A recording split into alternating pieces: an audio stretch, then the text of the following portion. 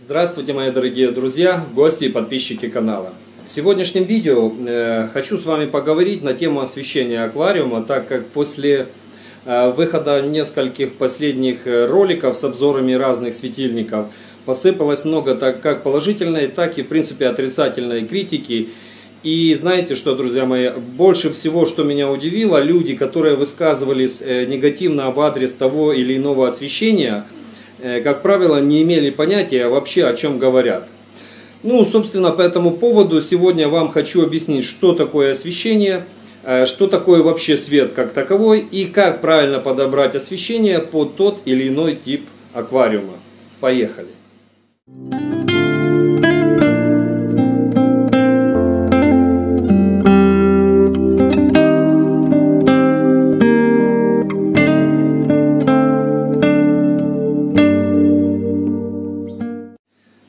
друзья, по типу источника освещение можно поделить на несколько категорий. Э, все они одинаково имеют право на жизнь, но отличаются некоторыми параметрами, которые я дальше приведу вам в видео.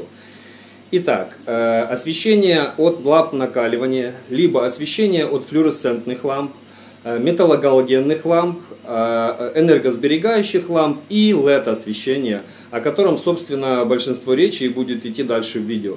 Э, я думаю, если вы искали какую-то информацию об освещении э, на форумах, либо вообще там в интернете, вы все стыкались с такими нюансами, как на некоторых форумах люди приводят э, определенные формулы мощности освещения в ваттах на литр.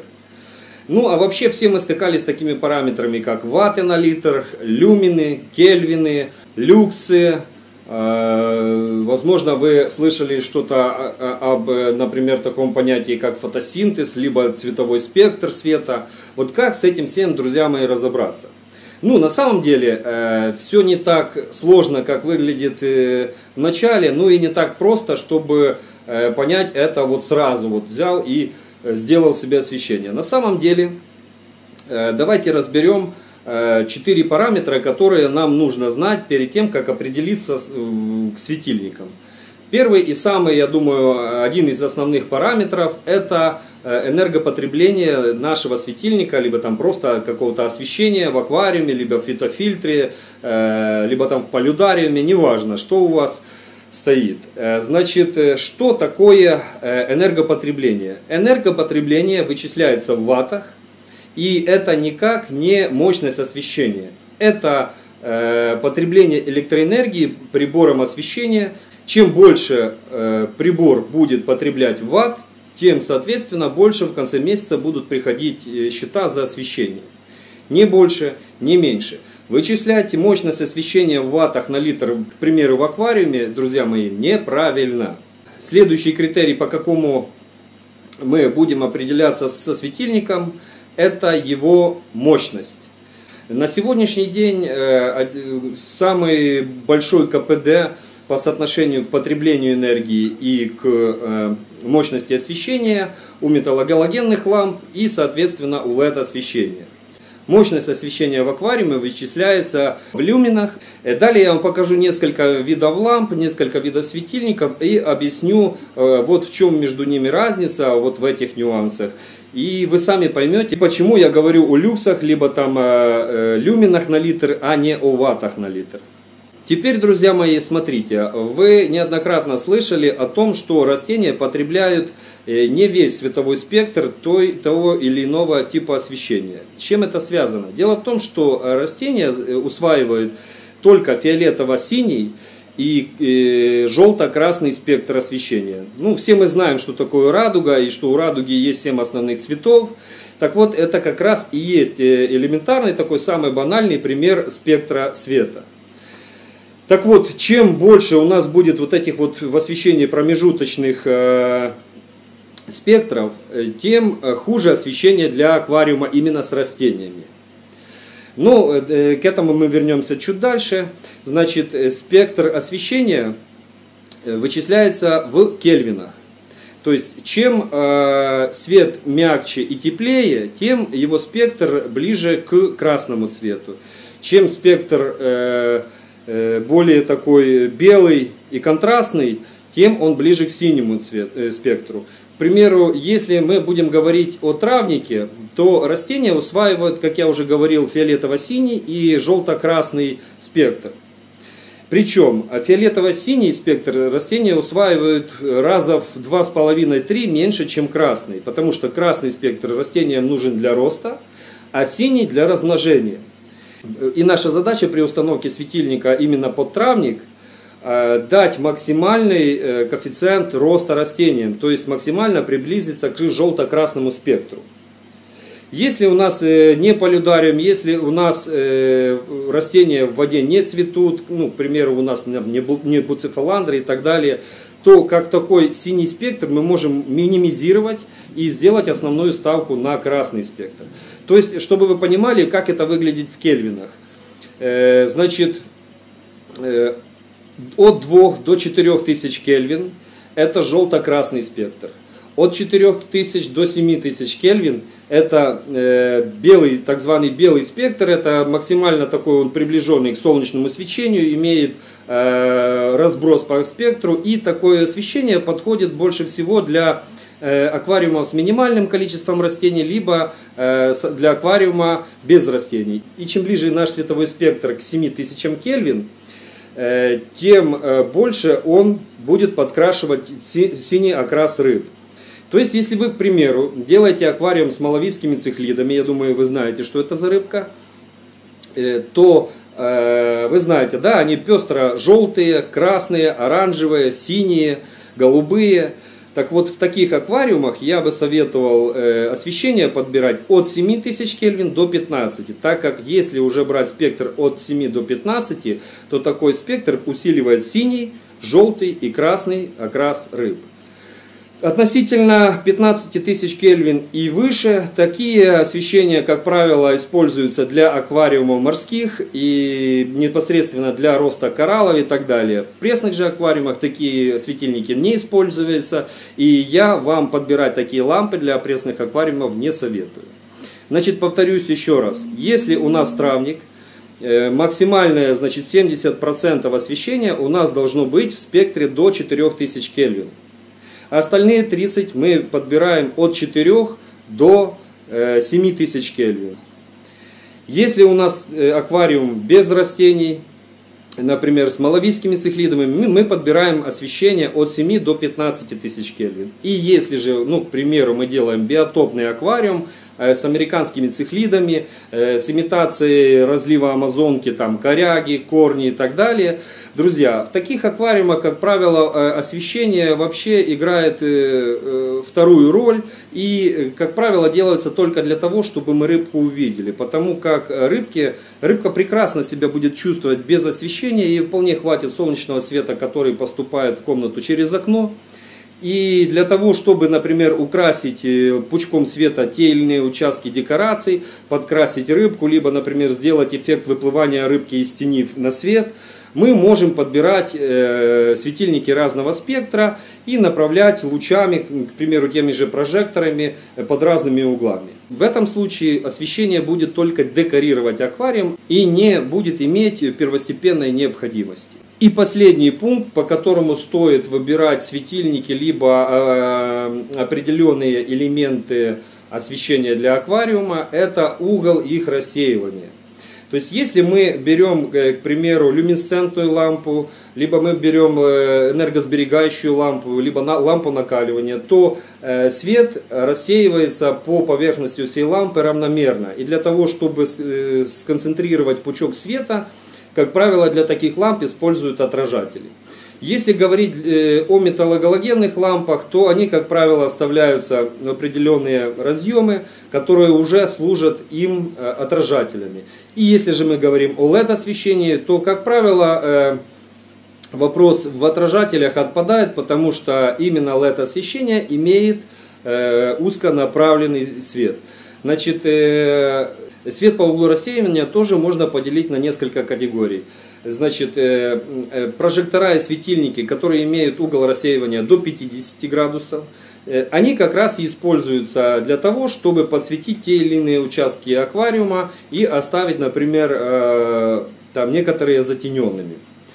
Светильники, у которых угол рассеивания от 50 до 120 градусов. Такие светильники используются как правило, в аквариумах для того, чтобы э, осветить, например, ярче осветить одну половину аквариума и, например, э, такой же светильник с таким углом рассеивания, но с меньшей концентрацией света для того, чтобы оставить освещенным, но в то же время затененным другой участок аквариума и светильники, которые имеют 120 градусов и больше. Такие светильники имеют место быть э, в аквариумах и в травниках, и в аквариумах с амазонской рыбой, и с малавийскими цихлидами. И они, как правило, и используются для того, чтобы подсветить аквариум в целом.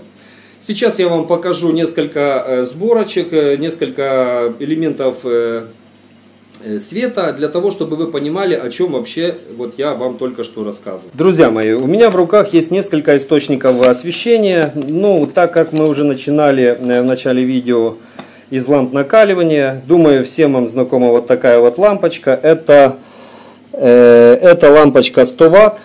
На 1 Вт потребления энергии лампочка накаливания выдает 12 э, люминов света. То есть фактически вот эта лампочка освещает с мощностью 1200 люмен. Э, подключать я ее сейчас не буду, я думаю, каждый из вас видел такую лампочку. Значит, но запомните эту, эту цифру. 1200 люмен для того, чтобы мы понимали, э, от чего дальше отталкиваться. Флюоресцентной лампы у меня, к сожалению, здесь нет. Эти лампы уже, как я говорил, они себя морально отжили. Но в чем плюс, э, в чем плюс флюоресцентной либо металлогалогенной лампы? КПД по отношению к энергопотребляемости у них на порядок выше. То есть если 100 ватт потребления лампа выдает 1200 люмен, то, скажем, лампа энергосберегающая при потреблении 20 ватт выдает те же 1200 э, люмен. В свою очередь у нас получается что? У нас получается экономия 5 раз по потреблению электроэнергии. Если взять вот такую вот лампочку, это диодная, самая обычная диодная лампочка 9-ваттная, то у нее КПД на порядок выше, чем у этой лампы и у лампы э, э, экономки. Почему? При своих 9 ваттах э, энергопотребления она выдает около 1000 люмен светового потока. Ну, я тысячу это я так грубо сказал, потому что, к сожалению, у меня э, коробки упаковки от этой лампочки нет, но я думаю, что от 70, 750 до э, где-то 900 люмен она по-любому выдает. К одному ватту потребления электроэнергии они выдают 90, плюс-минус 90 люмен э, мощности освещения.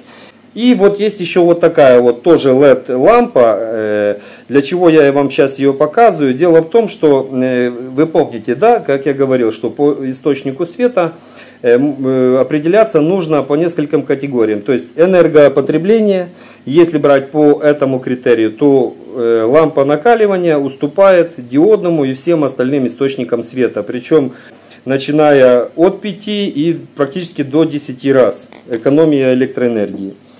Э, если брать по э, мощности освещения, то в принципе они э, соразмерны. Если вы не экономите на электроэнергии, то вам по сути нет разницы. Брать, например, лампочку в 2700 Кельвин диодную, либо брать вот такую, по спектру свечения они одинаковые. Если же говорить о угле рассеивания, то, к примеру, вот такая лампочка рассеивает свет по всей своей поверхности. Эта же лампочка вы видите, да, она имеет вот такой вот цоколь и, соответственно, э, рассеивание света будет вот так. То есть, если ее в аквариуме устанавливать э, таким образом, то нужно сверху делать по-любому отражатель. Если же таким, то мы будем получать максимальный коэффициент рассеивания света именно по площади аквариума. Ну а есть, друзья мои, вот такие вот еще диодные лампочки. Это диодные лампочки как раз с малым углом рассеивания света. Здесь угол около, э, наверное, может даже 90 градусов, а может и меньше. Вот эти лампочки как раз и используются в аквариумах для э, подсвечивания тех или иных участков. Если вы видели видео со скатами, либо там видео я снимал с красным паку, то как раз этот аквариум освещает три вот таких вот 5-ваттных лампочки. Они э, за счет того, что угол рассеивания у них э, маленький, они хорошо пробивают столб воды в 70 сантиметров до самого дна, причем оставляя углы аквариума затененными для того, чтобы рыбка могла спрятаться в тени. Вот смотрите, в чем плюс такого светильника в аквариуме? Вот как вы видите, и свет от него, вот он сам, да, свет от него рассеиваться равномерно по всей поверхности Э, ну, скажем, если, если бы это у нас был аквариум, то по всей поверхности аквариума. То есть не пучком в определенное место, а непосредственно э, по всей поверхности аквариума, тем самым освещая все участки аквариума равномерно. Э, значит, такой светильник со спектром свечения в 6500 Кельвин предназначен, как я уже говорил в начале этого видео, для аквариумов с малым количеством растений, либо для аквариумов Э, без растений вообще. И вот такой вот спектр в 6500 Кельвин, он хорошо э, подчеркнет синий окрас рыб. Еще один светильник, обзор на который мы делали, э, тоже LED-сборка. Но, как видите, в отличие от этого 6-ваттного, этот немного мощнее, это 10 ватт. Плюс его в чем? Он уже сделан более Э, скажем так, более стильно, есть некоторый дизайн и, соответственно, мощность освещения у него сильнее. И, соответственно, вы видите, да, что свет э, распределяется вот равномерно по всей поверхности аквариума. Здесь у нас тоже 6500 Кельвин, и для аквариумов э, травников он не предназначен. Э, он предназначен для того, чтобы подчеркнуть окрас рыб и хорошо осветить равномерно всю площадь аквариума. Вот это так званая фитолампа, которая э, предназначена непосредственно для растений. Как видите, угол рассеивания у него очень хорош, и он равномерно тоже освещает, то есть никаких отражателей дополнительных для таких светильников не нужно. Вот это в этом принципе и большой плюс э, диодных сборок. И еще один светильник на 3200 Кельвин. Это мягкий теплый свет. Как видите, он слегка розоват. Я надеюсь, вам всем видно. Если помните, я в начале видео говорил, что, э, как правило, на любых форумах и так далее, вот, э дают советы, как правильно подобрать освещение в ваттах на литр. Так вот, друзья мои, э, это полностью не, неправильно э, исчислять освещение в ваттах, потому что мощность освещения, если аквариум без травы, то вы подбираете только под себя, то есть подбираете по спектру, чтобы подкрасить рыбу, либо сделать э, точечное какое-то освещение э, в тех или иных участках аквариума. Если же у вас аквариум с растениями, э, то обязательно вам нужно понимать, что каждое растение потребляет разную интенсивность освещения. Если мы говорим про цветовой спектр, то об этом я расскажу чуть далее. А если мы говорим про мощность освещения, то это, если переводить, ну скажем, э, по нашей шкале, да, вот там 0,5 ватта на литр, это получается от 6 люмен на литр. Но это неправильно. Я бы сказал, что средняя мощность освещения в аквариуме должна быть от 15-18 люмен и выше. То есть в зависимости от того, какие растения у нас в аквариуме растут. Друзья мои, как вы помните, я уже говорил, что лампа накаливания на каждый ватт потребления энергии выдает нам 12 люмен света. Люмины это как раз и есть мощность освещения. Есть у меня вот такой вот прибор, который называется люксметр. Этот прибор предназначен для того, чтобы измерить мощность освещения того или иного источника. И измеряет он э, мощность освещения в люксах. Что же такое люкс? Если люмен это у нас мощность освещения, ватты это у нас мощность энергопотребления э, источника света, кельвины это у нас световая, световая температура источника света, то люксы, друзья мои, это те же люмины, только рассеянные на 1 квадратный метр. То есть один люкс сопоставим одному люмину, рассеянному на 1 квадратный метр площади. И э, давайте вот смотрите, есть у меня эта 30-ваттная LED-сборка, ну давайте возьмем, наверное, вот эту. Есть у меня вот эта 30-ваттная сборка, э, производитель, значит, тепловая температура 2800-3200 Кельвин. Э, производителем заявлена мощность в э, 3000 люмен световой поток. Но если мы возьмем электро, э, энергопотребление 30 Вт и умножим это все на 90, 90 э, это, чтобы вы понимали, константа для диодных ламп и светильников, то есть константа 1 Вт потребления энергии к 90 люменам выдачи света. Если у нас здесь 1 Вт к 12 люменам, то здесь у нас 1 к 90. И вот если мы посчитаем, 30 Вт умножаем на 90, у нас получается 2700 Кельвин. Сейчас мы все это проверим. Как же пользоваться этим прибором? Значит, есть здесь у нас все очень просто. Всего три кнопки. Э, значит, вот такой вот крышечкой закрывается э, датчик, э, светочувствительный датчик, который, собственно, измеряет. Здесь у нас, вот как вы видите, элемент питания и три кнопки. Одна из них это кнопка включения-выключения. Еще одна кнопка это переключение режимов. И третья кнопка это служит для того, чтобы зафиксировать. Например, мы снимаем э, свет, э, измеряем и фиксируем показатели. Вот hold и видите мы зафиксировали. Давайте посмотрим, э, как светит, сколько же выдает мощности наш светильник. Значит, смотрите. Вот, я надеюсь, вам видно сейчас. Значит, при приближении мощность освещения э, усиляется, но мы будем э, измерять все это дело на высоте где-то 20 сантиметров. И у нас показатель сейчас идет 13400 люксов. 13400 люксов. Как же измерять вот этим прибором э, освещение? Ну, допустим, у нас есть некоторая площадь аквариума, и, скажем, эта площадь будет 50 на 50 сантиметров. Наш аквариум кубик 50 на 50 сантиметров. Для чего 50 на 50? Так нам будет проще считать. Площадь такого аквариума будет равна 1 четвертой квадратного метра. Значит, я уже говорил, да, что люкс это 1 люмен, рассеянный на 1 квадратный метр. То есть в нашем случае мощность нашего освещения 13400 нужно разделить на 4.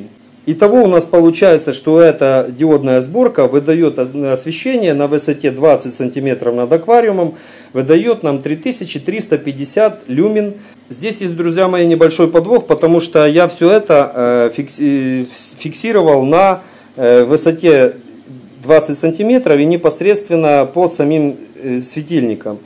Э, как же нам правильно измерить освещение в аквариуме? Значит, есть несколько точек, да, у нас. Есть у нас точки вот угловые в аквариуме и центральные. Для того, чтобы нам измерить среднюю величину освещения по всей поверхности воды в аквариуме, нам нужно измерить по центру и по четырем углам. Потом взять среднее значение, допустим, это будет там 10 тысяч, 10 тысяч, 10 тысяч, 10 тысяч и непосредственно по самим источникам 15 тысяч. То есть получается, э, э, все это суммируем, у нас получается 55 тысяч люксов и делим все это на 5, потому что 5 э, мест, 5 мест мы фиксировали, да? Делим на 5, это получается в среднем 11 тысяч люксов. 11 тысяч люксов мы умножаем на площадь нашего аквариума, это 0,25 квадратных метра.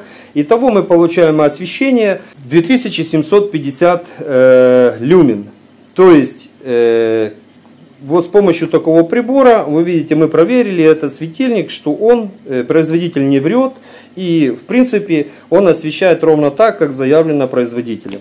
Значит, таки, такой прибор э, я советую использовать всем людям, у кого есть э, в аквариуме растения, потому что э, замерять, делать замеры э, интенсивности освещения в аквариуме нужно непосредственно над каждым растением, так как каждое растение э, требует разного э, освещения. Если это химиантус, должно быть мощное освещение, если это анубиас, то приглушенное, и мох тоже любит яркое освещение. Э, Валиснерия вообще по боку, в принципе, какое там освещение. Поэтому э, мощность освещения для своего аквариума вы должны уже подбирать непосредственно под те растения, которые у вас растут в аквариуме.